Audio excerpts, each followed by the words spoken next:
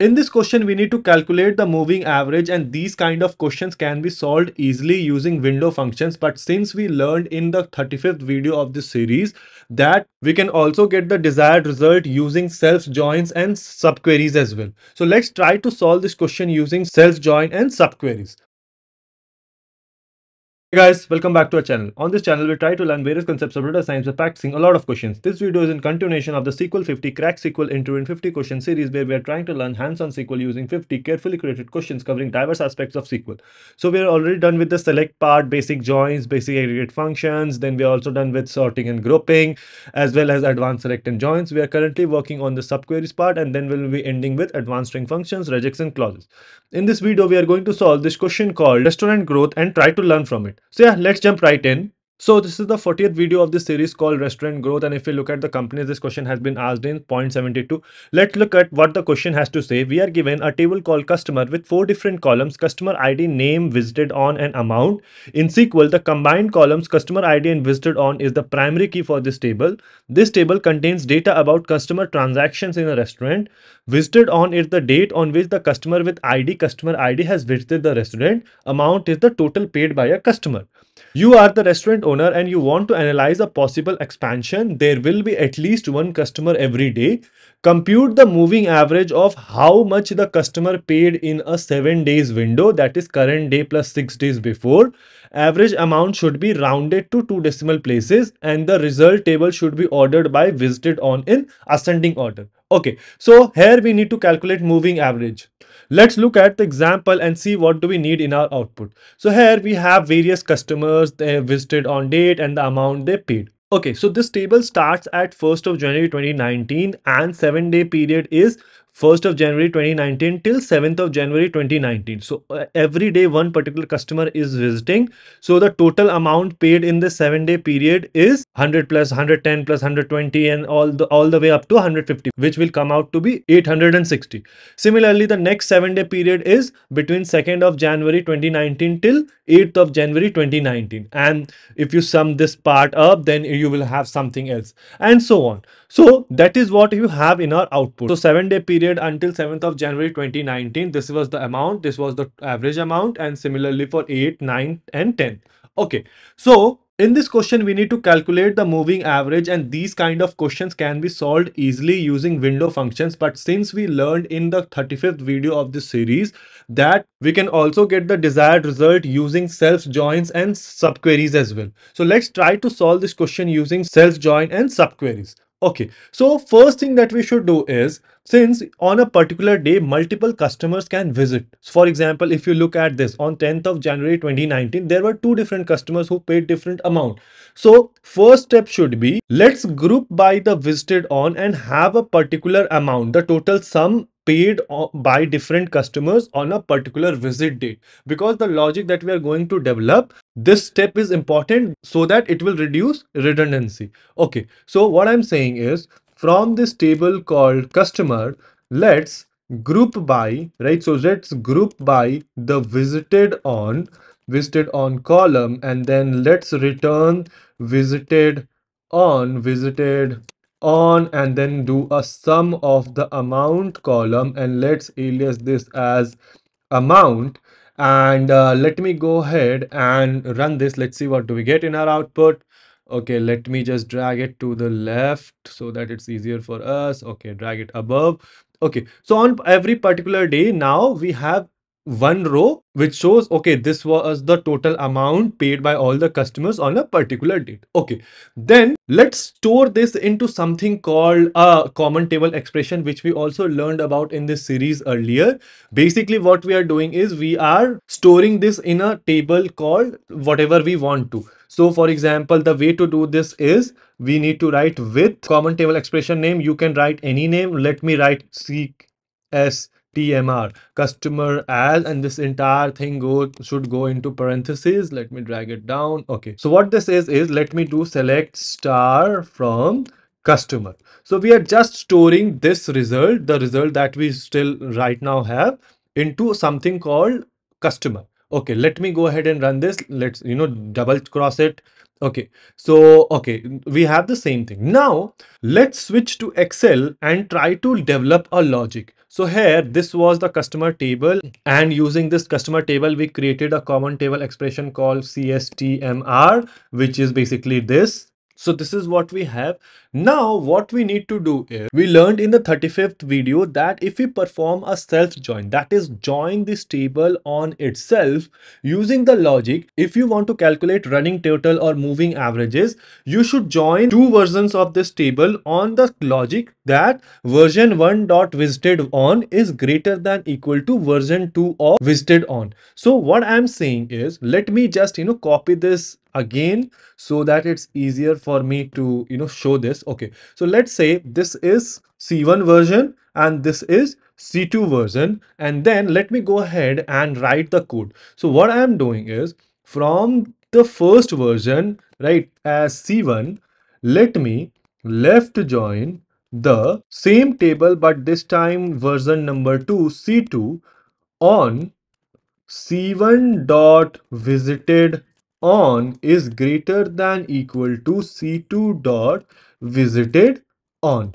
Okay let me go ahead and run this. Let's see what do we have in our output. Let me just you know drag it above so that it's easier for us. Okay so what we basically did was okay so this one should be greater than equal to this one. That is what we performed why did we do that? Because if you just look at this particular table and if someone will ask me what is the running total at a particular date. So if I group by this column and sum this part, right? So for example, on 1st of January 2019, the total would be 100. On 2nd of January 2019 the total would be these two rows sum right so 100 plus 110 on third it will be 1 2 plus 3 right? And so on. So you see why we are using that logic.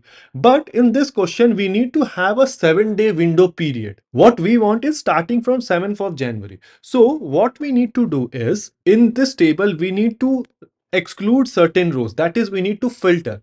First condition should be that the difference between this column and this column should be between 0 and 6 why? Because the period should be not more than 7 because for example if you do this do this logic right? For this logic right? So c1 dot visited on is greater than equal to c2 dot visited on. So if i come here here for example if we look at this one right? 8th of january 2019 8th of January 2019 is greater than or equal to 1st of January 2019. So there will be a row in the output which will have visited on from C1 date as 8th of January and this is going to be 1st of January. But what is the difference between these two? 8 days. If you include these two dates, so they are going to be 8 days we don't need that we only need the seven day part right so the first condition should be the difference should be between 0 and 6 so first condition is where date difference so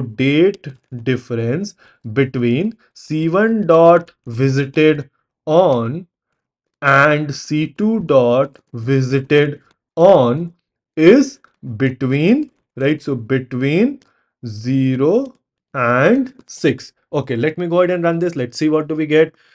Okay so now if we look at our output here if you see right so now the 8th january does not have any row which has 1st of january 2019 it starts from 2 because why? The difference between these two is 6 so that is the maximum that you can go. Similarly for 9 it will start with 3rd of january. Okay that is one thing then we also need to see that okay there are some of these for example these ones right? 1st of january 2019 and all. These we do not need because we do not need that in our output. If we look at our output we only have starting from the seventh day right? So how can we exclude those? So we can use a subquery in this case. How? Just think of it. If we add another condition that the c1 dot visited date should be greater than or equal to the minimum date that we have in this table. So the minimum date that we have in this table, which is 1st of January 2019. And if you add the seven day period into it, that will come out to be 7th of January 2019. So in our output, what do we need? 7th, 8th, 9th and 10th. So another condition could be that okay if your visited on is greater than equal to the minimum date from the customer table plus 7 days Okay, so how can we do that? Let's try to inculcate that filter as well. So, and the second condition should be C1 dot visited, C1 dot visited on is greater than or equal to return the minimum from right? So the minimum of visited on date from the customer table from the customer table but not the minimum of visited minimum plus 7 so how can we add dates? We learned about a function called date add. So date add and then let me you know let me just uh, write okay so date add and in this particular how do we add days we need to write comma interval and then interval 6 days because the minimum is 1st of January if you add 6 then you will land up at 7th of January so interval 6 day Okay, now let me go ahead and run this. Let's see what do we get in our output. So now if I drag it above, then let's, if you see, okay. So now here we are only left with whatever is required for us. So for example, for 7th of January, we need to have 7th 1, 7, 2, 7, 3, 7, 4, 7, 5, 7, 6 and 7, 7. So here if you look at it, you will only have until 7, 7. Okay, so now for every date that is required in our output, we have the values that were contributed or paid by various customers. Okay, now we can go ahead and group by the visited on column and sum the amount because that is going to give you in our output the total amount right? So here you need the amount and you also need the average amount. So what we can do is so from this code from this particular code we are able to get this. And then if i go ahead and do group by c1 dot visited on and then for every visited on date so c1 dot visited on and then you sum the amount column and alias this as amount because you need that as amount in our output as well so amount column. And then we need to calculate the average rounded to two decimal places. If you look at rounded to two decimal places and alias this is average amount. So we need the average of amount column but this should be rounded to two decimal places and then aliased as average amount. And also at the end we need to sort this by visited on in ascending order. So here we need to write ordered by c1 dot visited on in ascending order okay so i think this looks good let me go ahead and run this let's see what do we get in our output Okay, so you see the importance of writing these C1s and C2s. It says column amount in field is ambiguous. Why? Because amount is coming from the customer, right? So if we go at customer, so amount is coming from this as well as this. So we need to sum the C2 dot amount part, right? So here we need to write C2 dot amount and same here as well. So C2 dot amount. Let me go ahead and run this. Let's see what do we get. So now if I drag it above, we can see that, okay, this is accepted.